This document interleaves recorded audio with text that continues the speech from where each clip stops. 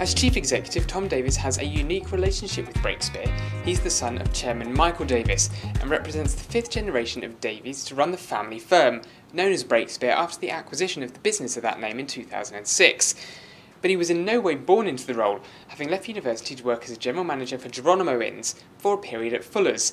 His approach has not been to keep the status quo either. Brakspear returned to the acquisition trail in the summer for the first time in six years and has been very active since then, including partnering up with Michelin star chef Claude Bosi. Speaking to Big Hospitality recently at the Crown pub in Playhatch near Reading, Davies said the time had been right and there were good sites available. So, what ambitions does he have for the Henley based business? I've got no aspiration to sort of grow it to 500 sites. It's just not. It's, it's, it's not what we're about. What I want is is, is a number of, of quality pubs.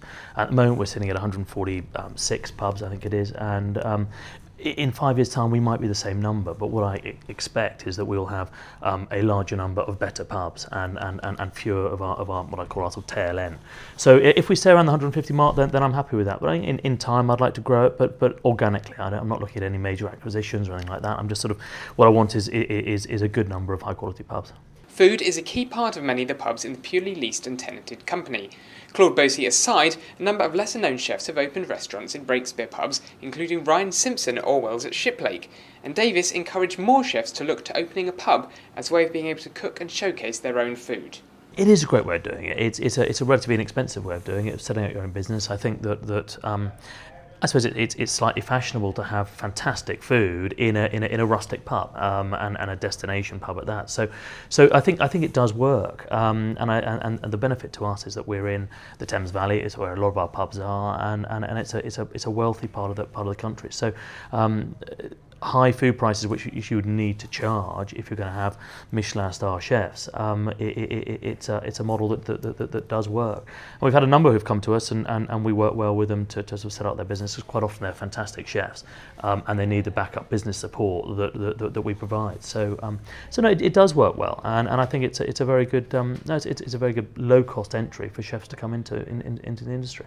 With the acquisition of the Royalist Hotel in Stow-on-the-Wold, Brakspear has also planted its foot firmly in a rooms business, so will that become more key to the company's other pubs? I think so. We've got about, um, I suppose, about 35 or so of our pubs have rooms currently, and and it, it's great for the model that the the the, um, the profits drop straight to the bottom line, and that and that really helps the operators as as, as well as us. So, um, yeah, the, we, we bought the the Star and Eagle down in um, down in uh, Goudhurst, and that had 10 bedrooms, and it's, it's a good business. And I see us buying pubs with rooms, um, I say slowly over time, but also uh, adding rooms on where possible.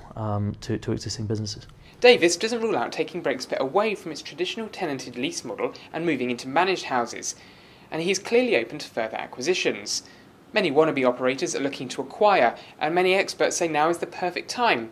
So, how do people go about choosing a good site? Does whether it's food or drink led come into the process, for example? It does, yeah. What I'm, what I'm looking at is, is, is long term viability. We're, we're a family business, we've been around for a long time and, and, and intend to be around for, for a lot longer. So when I'm looking at a site, I'm, I'm thinking about the next generation, two generations down. Actually, will that still be a great site then? And I think um, all the pubs we bought, um, for whatever reason, um, you look at that and say, actually, that's a great business, it's a great site, um, and will, will be great for a long period of time. And I think the, you know, the other thing is, is, is, is the, the ability for it to take money. Um, and all the sites we've got have the ability, or currently do, or will do, take over 20 grand a week. And, and I think that, that that's a sort of site that um, we can make good money out of it, as well as the operator. And, and that's key. And, and keeping our relationships good with our tenants and lessees, um, they've got to be able to make good money out of them. And, and, and, and when you get to 20 grand a week circa, um, it, the, the, there's enough in it for everybody. So, um, so that, that, that's what we're looking at, really. As a vocal campaigner on VAT, Davies has seen the industry's many calls for a reduction on that and the beer duty escalator seemingly fall on deaf ears. We asked if he was feeling confident the attitude from government would soon change. Um, not terribly, uh, if I'm absolutely honest. I think that they'll never reduce um, a beer duty from, from where it is now. What, what I think the, the best thing we can hope for is, is that they, they, they cap it and they actually stop increasing it. Um, so I think that, that that's what we're now fighting for, um, and, and, and we might get some, some resolve there.